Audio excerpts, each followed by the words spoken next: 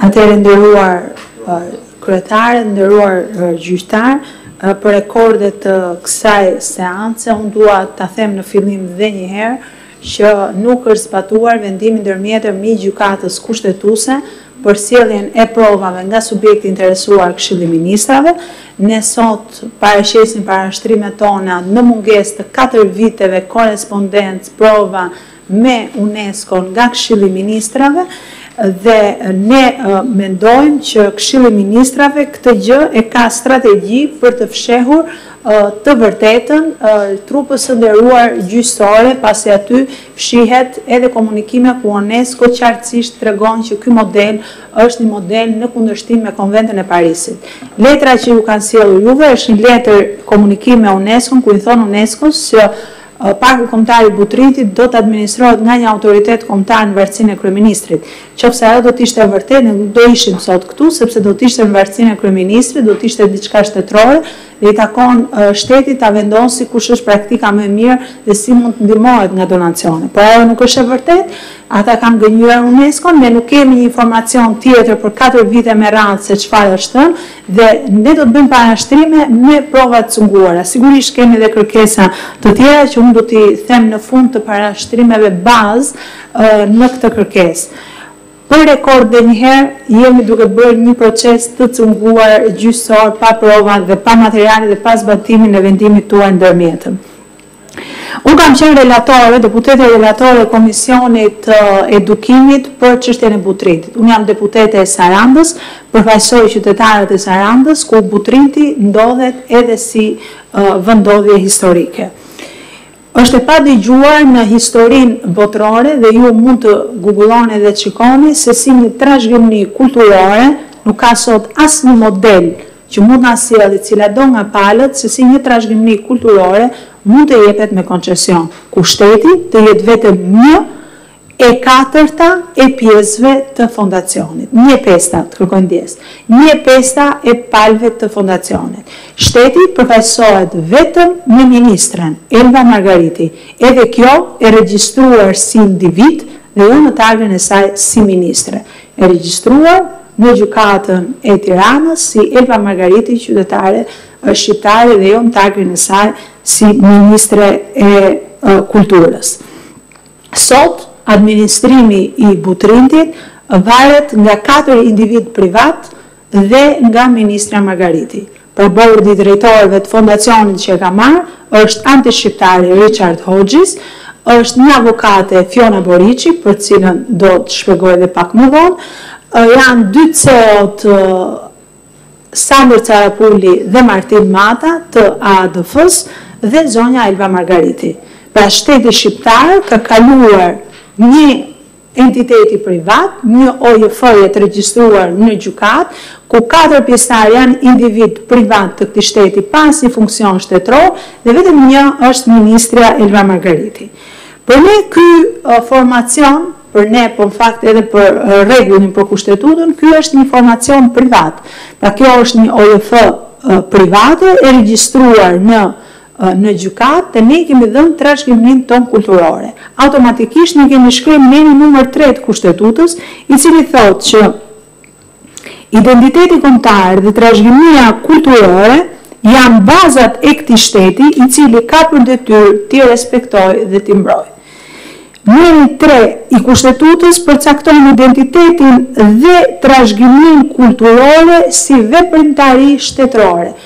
pra që shteti ka për detyrën t'i garantojë dhe t'i mbrojë.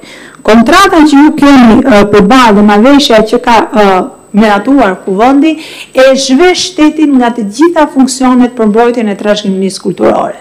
Shteti shqiptar nuk ka më asnjë tagër në trashëgiminë kulturore, as për të dhënë lejet për aktivitetet që bëhen brenda Butrintit, as për të monitoruar ruajtjen e Butrintit, ka të drejtë fondacioni për të transferuar, ne ja u kemi parashtruar edhe në kërkesë, do t'ju sjellim edhe një material me të gjitha pikat e marrëveshjes, ka të drejtë fondacioni për të lëvizur trashëgimni kulturore, ka të drejtë fondacioni Shëndet, fjalë e vërtetë, për të lëvizur trashëgimni kulturore për të ekspozuar dhe për të kthyer në Shqipëri se çfarë dojë sepse nuk ka një kontroll shtetëror. Ka të drejtë fondacioni të zgjedhë se kush do të gërmojë në Butrint. Dhe kjo lidhet drejtpërdrejt me identitetin kombëtar. Ne sot kemi prova publike që ata që gërmojnë në Butrint, me lejen e fondacionit, janë njerëz që shprehen që Butrinti është një trashëgimi kulturore greke. Richard Hodgesi, vetë anëtar i komisionit, me librat e tij, që janë faktike, por edhe në leksionet e tij, thotë që Shqipëria është një krijim politik, Është Saranda është një qytet grek dhe Butrinti ka një trashëgimni greke dhe ai e parashtron gjatë e gjerë këtë si vizion të tij. Studius tjetër, Hernandesi, që unë ja kam paraqitur dhe me video dhe ka qenë edhe pjesë e domenit publik dhe mund t'ia vë dhe në dispozicion gjykatës, thotë që shqiptarët ishin njerëz me dele që vinin në Butrint dhe në fakt Butrinti është një qytet grek. Pse ja u solla këtë? Për t'ju thënë që, drejtpërdrejt ne cënojmë identitetin. Në qoftë se ne ua lëmë këtyre njerëzve në dorë që të jetë anëtar i bordit dhe të zgjedhë një privat se kush do të hyjë dhe të interpretojë historinë shqiptare, atëherë ne jemi duke cënuar trashëgiminë tonë kulturore dhe identitetin tonë kombëtar. Nëse ne japim të drejta të transferojnë, të lëvizin trashëgiminë tonë kulturore, atëherë ne duke ia lënë këtij privati, kemi hequr shtetit mundësinë që ta mbrojë trashëgiminë tonë kulturore, sepse nuk ka më zë në kapitull. Nga ana tjetër, kjo gjykatë e nderuar u shpreh në një vendim për Teatrin Kombëtar se si Teatri Kombëtar përbënte vlera të trashëgimisë kulturore materiale shqiptare.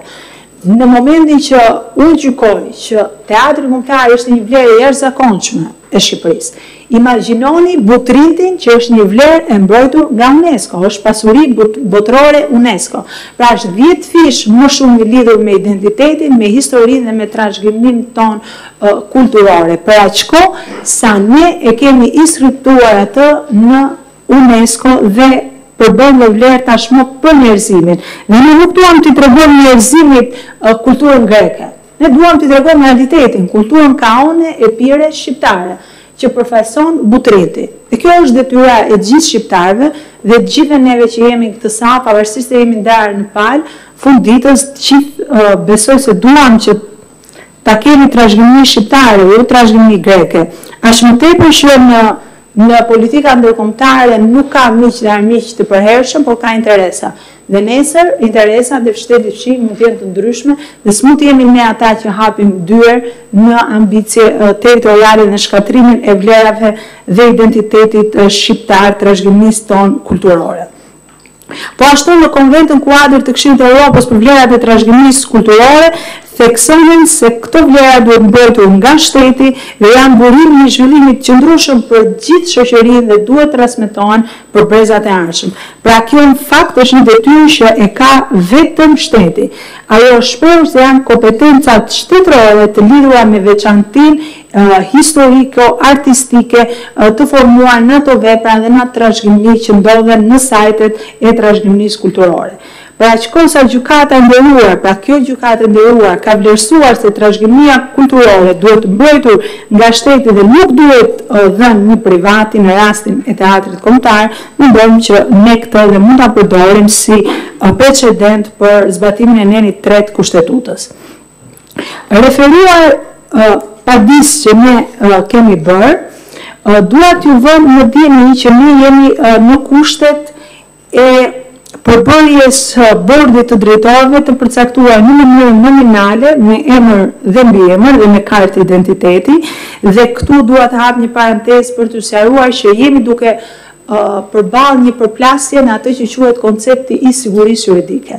Ju siç e dini, një ligj parashikon, Ligji i Organizatave të Shoqërisë Civile, i OJF-ve, parashikon që OJF-të janë organizata që janë të shkëputura nga shteti. Kështu e parashikon ligji. Ndërkohë që OJF-ja që ne kemi këtu jo vetëm që nuk është e shkëputur nga shteti, po ka një përfaqësues të shtetit brenda. Pra ka krijuar një përplasje midis normave juridike brenda shtetit, ku një ligj bie në kundërshtim me një ligj tjetër.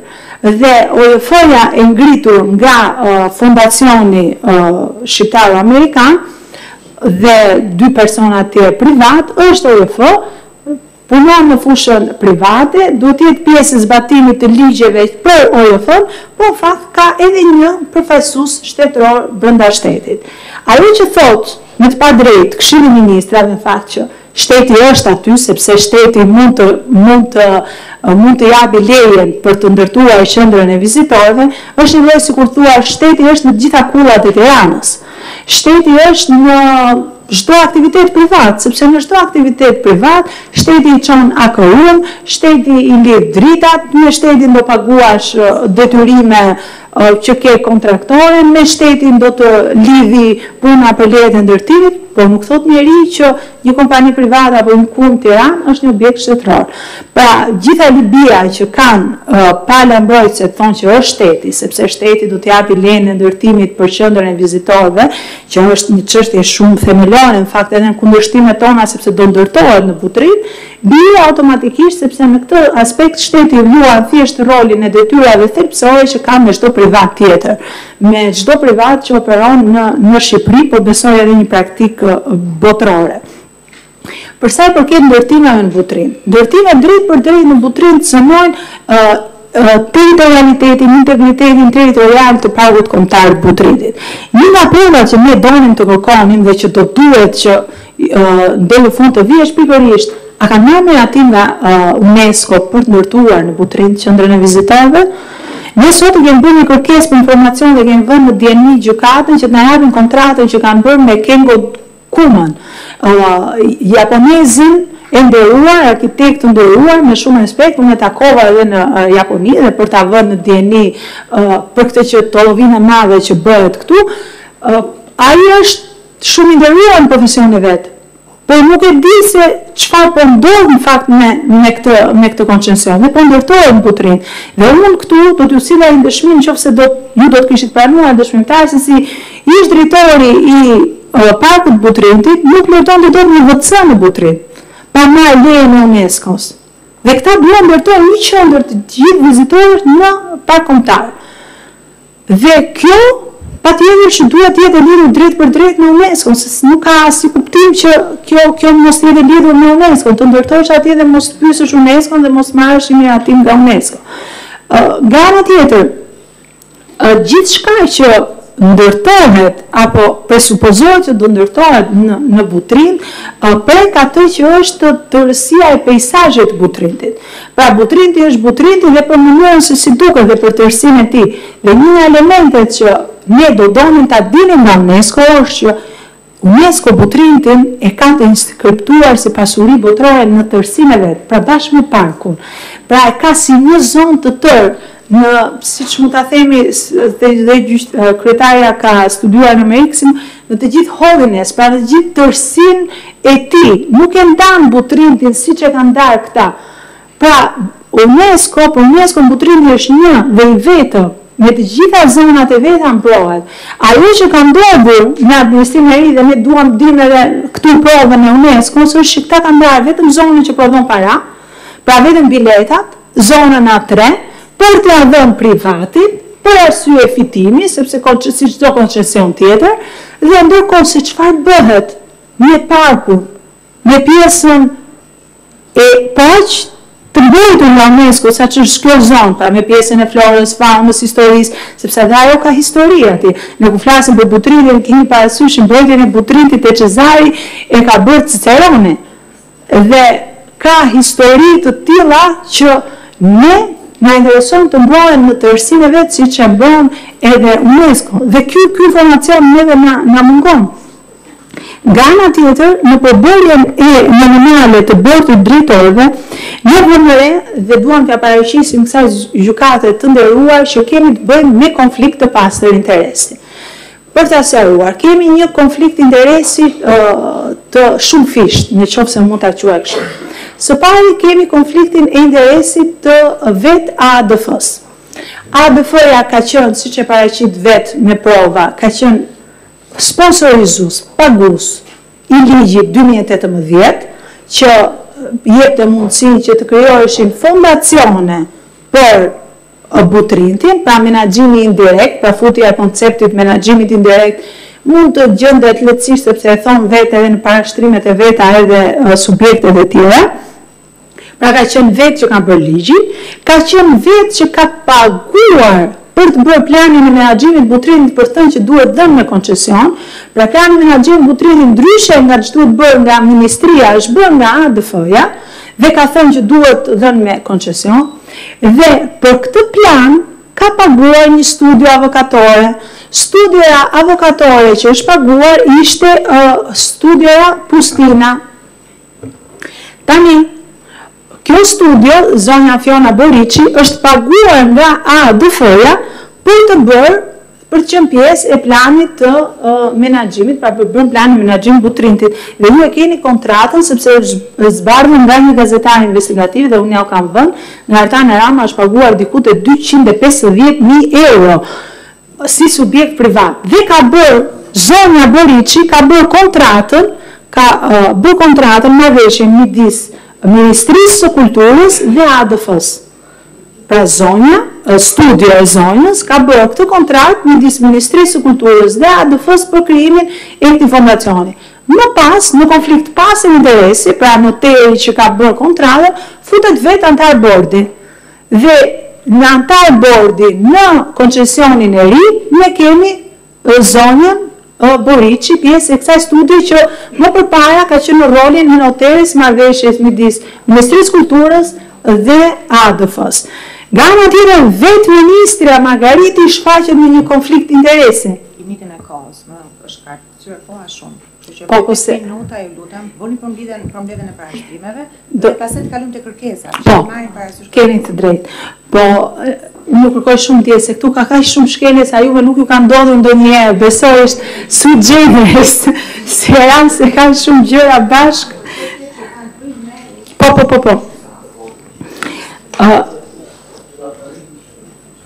për ta për t'i rënë shkurt sepse të paktën për kontrollin e lartë të shtetit kanë parashtrimet ata dhe unë nuk do desha të të thellohem aty se jam dakord 100% me parashtrimet e, e kontrollit të lartë të shtetit.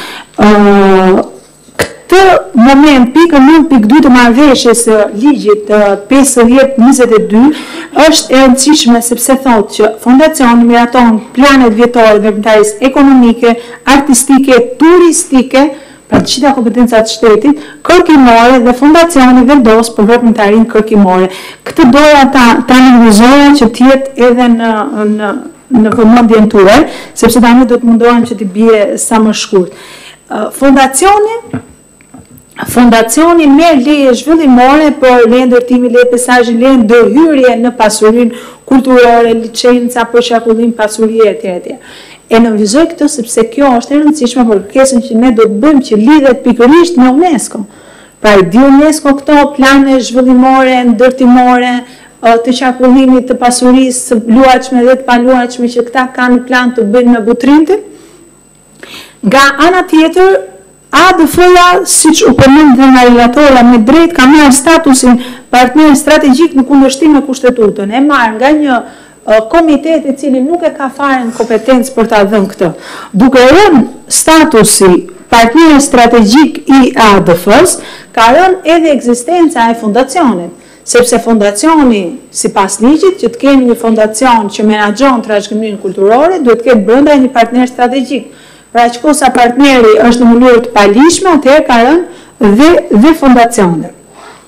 Pra, sepse është kryer nga një organ që ligji nuk ia ka dhënë tagër ligjor dhe është në shkelje të parimit të ligjshmërisë sanksionuar në nenin njëqind e tetëmbëdhjetë të Kushtetutës.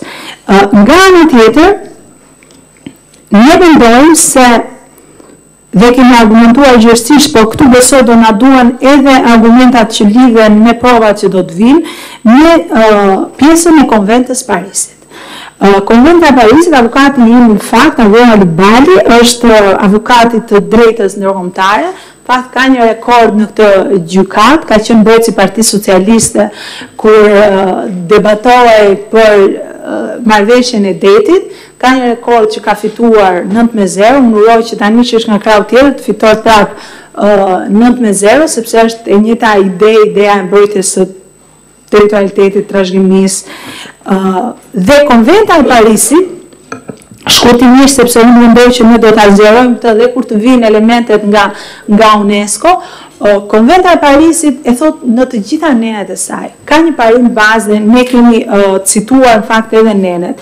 Ka një parim bazë që është shteti ai që është përgjegjës për trashëgiminë e vet kulturore, për ta transmetuar atë brezave të ardhshëm dhe për ta ruajtur.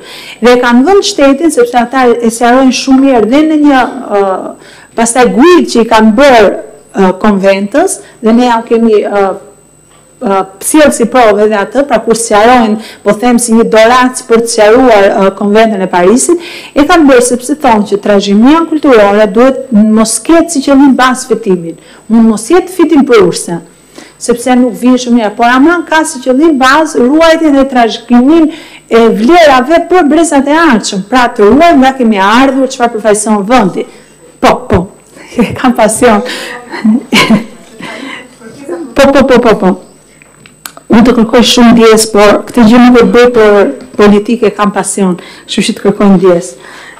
Ë uh, cenimi i parimit të shtetit të drejtës dhe të hierarkisë së akteve. Ne e kemi uh, sqaruar në, në padin tonë me, me shumë detaje, por duhet të kuptojmë që ne transformojmë zonën A3 Të Butrintit në një shtet brenda shtetit, me rregulla të tjera ku fondacioni bën gjithçka pa pyetur për shtetin. Nga ana tjetër, Gjykata Kushtetuese ka thënë në vendimet e saj edhe unë i kam përmendur këtu vendimet e saj, ka thënë që Ligjvënësi, pra hapësira normative ku zbatohen ligjet e shtetit, nuk duhet të ketë asnjë kufizim në territorin e Shqipërisë. Pra shteti duhet të jetë ai që ka tagrin kryesor në çdo cep të territorit të Shqipërisë. Për sa i përket Konventës Parisit vetëm një detaj. Konventa e Parisit I pranon fondacionet dhe i pranon këto jo vetëm kaq, po i nxit fondacionet, sepse nxit donacionet. Dhe këtu desha të them dhe qëndrimin tonë si palë kërkuese. Ne nuk kemi asgjë kundër donacioneve për Butrintin. Ne nuk kemi asgjë kundër subjektit AADF për dhënë donacione për Butrintin. Jo vetëm që t'i japi, por ka gjithë drejtën e botës që t'i monitorojë paratë që jep vetë. dhe nuk kemi asgjë kundër, por nuk mundet që një fondacion, cilido qoftë ai, të dalë mbi shtetin. Dhe në qoftë se ky fondacion do duhet të sillej në hullitë e Kushtetutës, atëherë do të ishte shteti, që ka pesëdhjetë e një për qind, të paktën pesëdhjetë e një për qind, mund të jetë shtatëdhjetë, sa të dojë, dhe fondacionet e tjera që s'ke pse s'ke pse të jetë vetëm AADF-ja mund të jetë kushdo tjetër të kenë dyzet e nëntë për qind të të të saj. Desha ta sqaroj këtë sepse merret sikur ka të bëjë me një betejë anti pro amerikane që s'ka. Tani tani po. duhet ta përmbledhësh, kështu që gjithë këtë do thuash sepse po, po, që po. ke në kërkesë ne do t'i disponojmë si të tilla. Pra, Dakor. Në fund do them uh, diçka me uh, cenimin e kartës europiane të autonomisë vendore. Po ta shikoni në provat që ka sjell pala e Fondacionit të Menaxhimit të Butrindit, fakt që s'duhet të ishte as palë, duhet të ishte AADF-ja, ka sjell ca copa letrash që thotë kemi bërë konsultim publik me këta njerëz. Këto copa një e para nuk janë dokument fare shtetëror sepse atë e printoj dhe unë kur dua, vë emra dhe nuk ka asnjë provë që e vërteton. Pra edhe unë mund të them që kam bërë konsultim për këtë me këtë, bëj një listë, pa pikë lidhje. E dyta, unë i kam takuar ata njerëz. Në qoftë se ju doni, unë mund t'ua sjell dhe si dëshmitar. Emrat që kanë vënë aty, që nga kryekomunari i Xarrës e me radhë, janë të pavërteta. Nuk është bërë asnjë konsultim publik. Ajo që ne mund të kërkojmë dhe kjo gjykatë e nderuar mund të kërkojë, është fakti që a ka pasë mbledhje të Këshillit Bashkiak për këtë? Meqënëse është pyetur bashkia thotë, a ka një korrespondencë me bashkinë Sarandë, zyrtare, nuk flas unë e takova në kafe sepse këto nuk hyjnë në në gjykimin kushtetues, pra a ka prova, po, a ka prova, a ka prova në lidhje me këtë konsultim që këta thonë? Dhe provat janë shkresat zyrtare me Bashkinë Sarandë, me Këshillin Bashkiak Sarandë. Përkundrazi nuk është pyetur fare dhe nuk janë përfshirë. Në Kartën e Autonomisë Vendore, bashkitë kanë të drejtën që të vendosin kuadrin e politikave zhvillimore. Okej, meqë s'kemi kohën po përfundoj me me një paragraf, mundem? Po si përmbledhje, edhe pastaj të bëj kërkesat.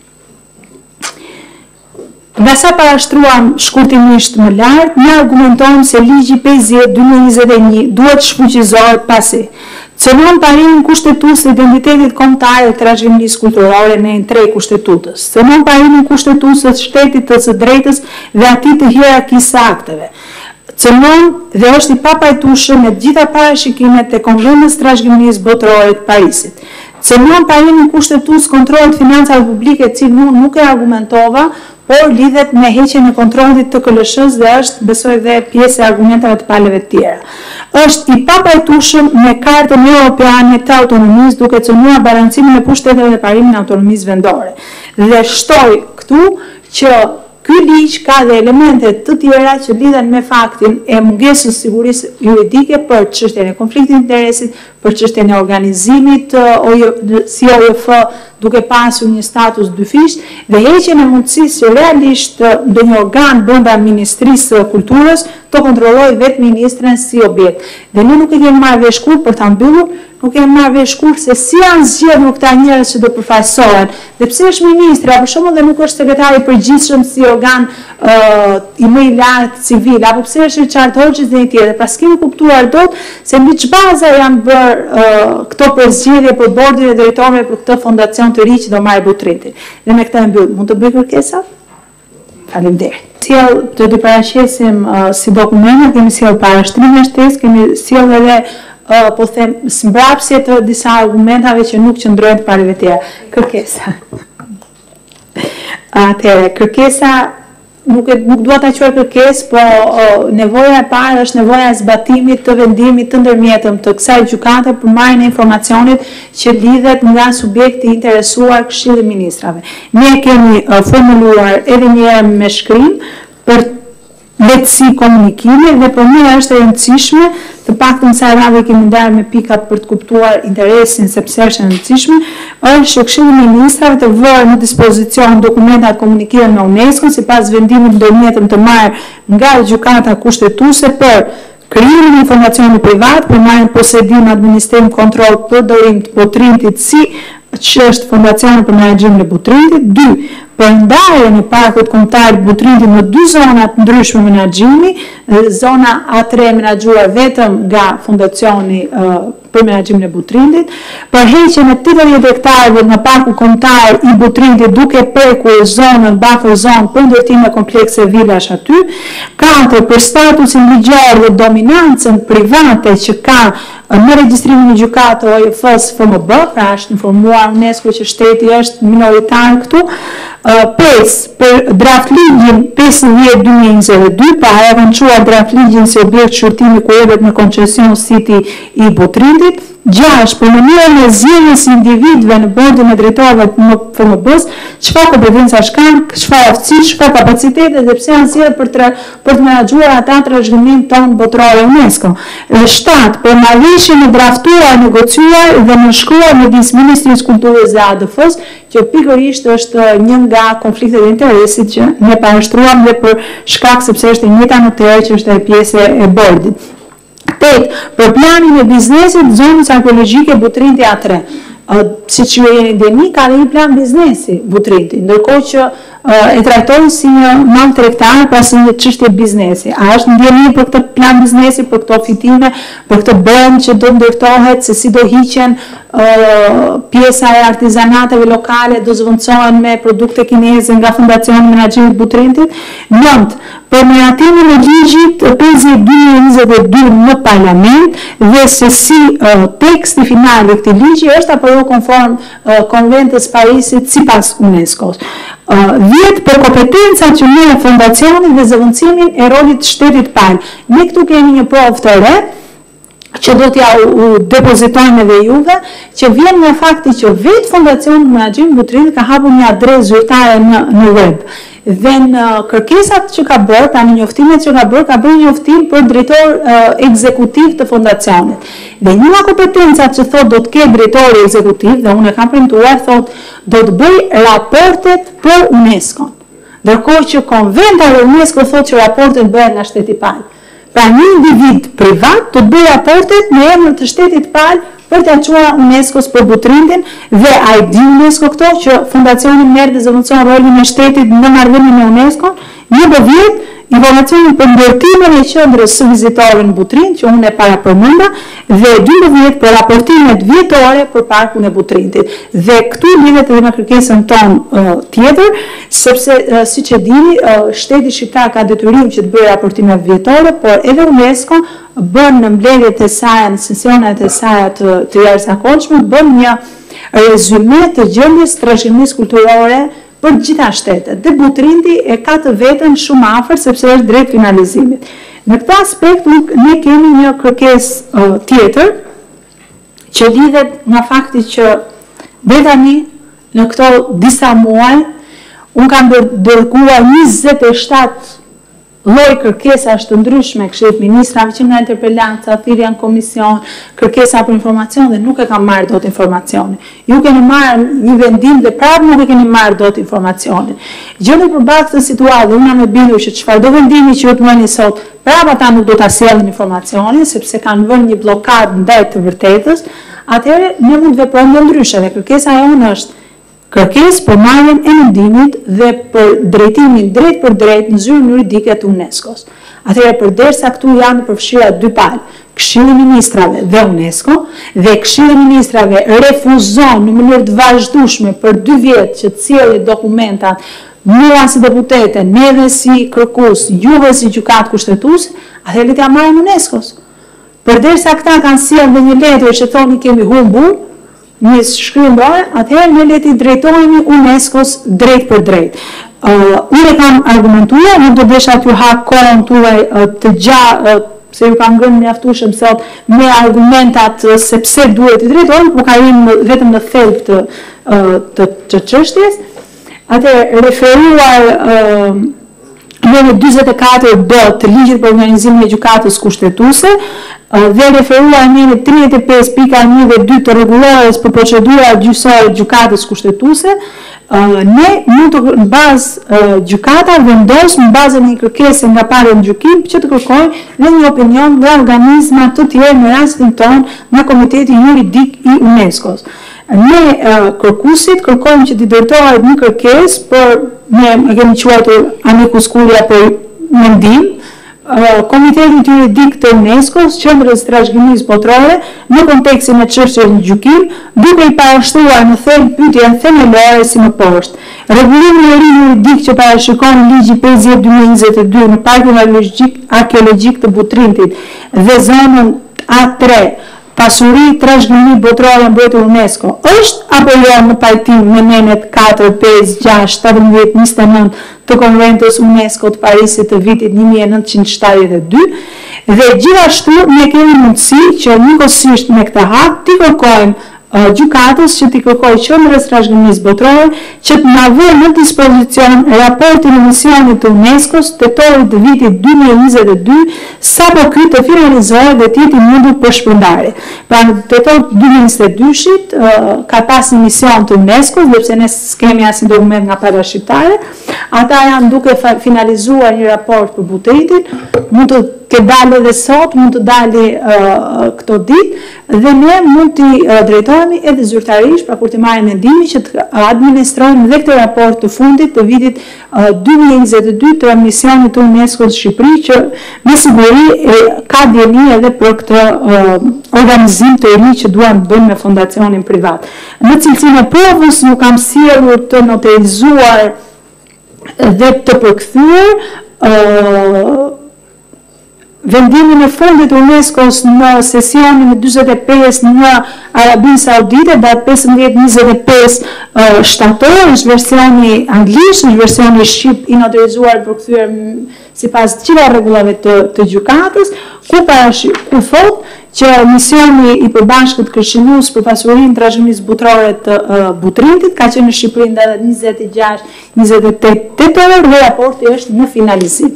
Pra si provë që kjo që themi është e vërtetë dhe nga ana tjetër po sjell dhe një provë tjetër të noterizuar dhe të përkthyer në shqip siç e kërkon ligji, që është një letër e dërguar Ndihmës Sekretares së Shtetit Amerikan, Michelle Sison, nga kongresmeni Joe DiGuardi, i cili e vë në dijeni në fakt, sepse duhet të nënvizojmë që është një rast që unë e përshëndes edhe nga këtu, Shtetet e Bashkuara të Amerikës janë kthyer në mënyrë aktive rolit të tyre në UNESCO dhe është ngritur edhe flamuri amerikan dhe është shumë mirë sepse na ndihmon në çështjen tonë, sepse do të jetë vetë, do të jenë vetë Shtetet e Bashkuara të Amerikës që nuk do të lejojnë besoj këtë gjë. Dhe referenca është kthimi në UNESCO i Shteteve të Bashkuara të Amerikës dhe probleme që lidhen me identitetin e trashëgimisë kulturore në Butrint të shkaktuar nga një identitet entitet amerikan. Dhe kjo është një provë që lidhet me UNESCO-n dhe me nevojën për të kërkuar mendim UNESCO-s.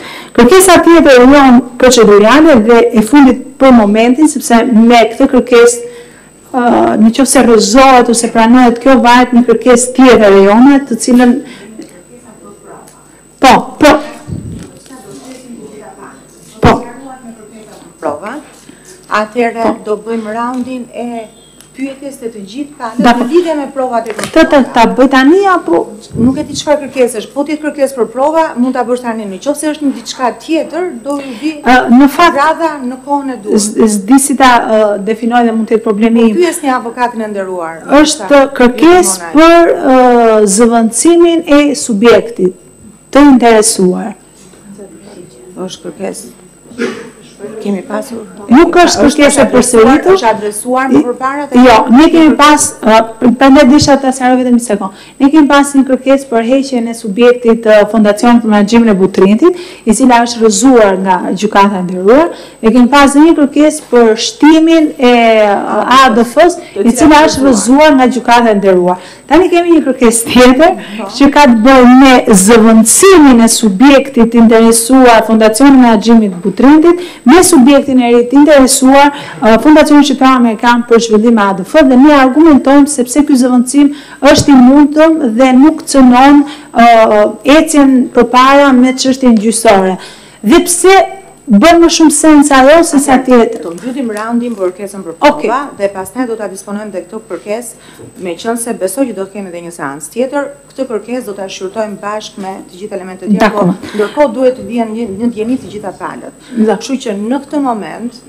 në këtë moment nëse përfunduat me kërkesën për prova, ne do pyesim në lidhje me kërkesën,